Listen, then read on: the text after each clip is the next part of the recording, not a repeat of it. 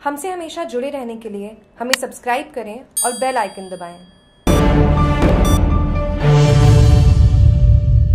CDS Vipin Rawat सहित देश के वीर सपूतों को दी श्रद्धांजलि तमिलनाडु के कुन्नूर में सेना के हेलीकॉप्टर हादसे में सीडीएस जनरल विपिन रावत व उनकी पत्नी मधुलिका समेत सेना के 11 वीर सपूतों की मौत से पूरा देश सहमा हुआ है मंगलवार कस्बे के मुख्य बस स्टैंड पर राजपुरोहित सेवा संस्थान की ओर से श्रद्धांजलि सभा का आयोजन कर दो मिनट का मौन रखकर देश के वीर सपूतों को श्रद्धांजलि अर्पित की।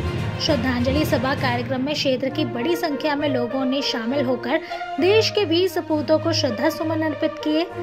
इस दौरान कैंडल मार्च भी निकाला गया। इस दौरान भारत माता के जयकारों से कस्बा गूंज उठा।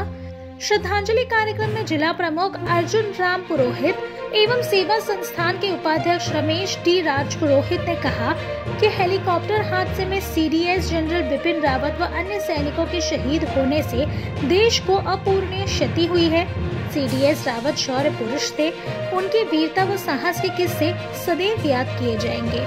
इस दौरान जिला प्रमुख अर्जुन राम पुरोहित, राज पुरोहित सेवा संस्थान के उपाध्यक्ष रमेश पुरोहित नरसर जिला अध्यक्ष जीवन दान चारण सीलदर उप सरपंच महिपाल सिंह देवड़ा, समाज सेवी गोमाराम दिवासी गौ भक्त अतीत रावल, चिराग पंचाल कंपाउंडर राजेंद्र यादव, सीलदर व्यापार मंडल अध्यक्ष सुरेश माली, जीवन दान चारण केरा राम चौधरी हिरेंद्र पाल सिंह देवड़ा, विक्रम पुरोहित राज पुरोहित सेवा संस्था के सदस्य ललित पुरोहित, रंजीत सिंह अमसा, रमेश पुरोहित लीला राम हीरा लाल जीतू, किशोर ऊना राम जेठा राम पुरोहित, मेर मेड़वाड़ा काना राम मेर मंडवाड़ा मंछाराम पुरोहित, ओटाराम सुथार, छोगाराम पुरोहित, बगाराम पुरोहित, भूपेंद्र पुरोहित समेत ग्रामीण मौजूद थे। इस मौके पर राज पुरोहित सेवा संस्था के उपाध्यक्ष रमेश पुरोहित ने जिला प्रमुख अर्जुन राम पुरोहित व